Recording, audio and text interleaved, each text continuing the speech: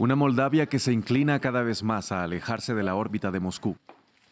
Según el conteo preliminar y por un resultado muy ajustado, la ex República Soviética expresó su voluntad de iniciar el proceso para unirse a la Unión Europea. Unos comicios en los que Rusia habría intentado influir en la votación, según denunció la presidenta Maya Sandu.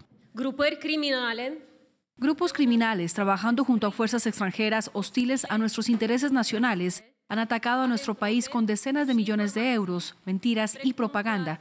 Tenemos pruebas claras de que estos grupos criminales pretendían comprar 300 mil votos, un fraude de una escala sin precedentes.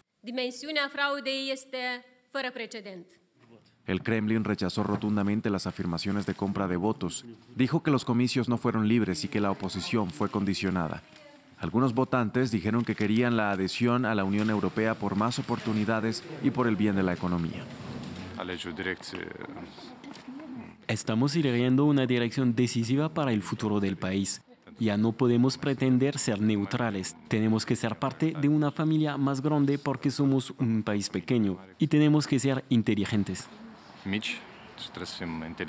Mientras tanto, algunos moldavos en Moscú estaban en contra de un futuro europeo para el país.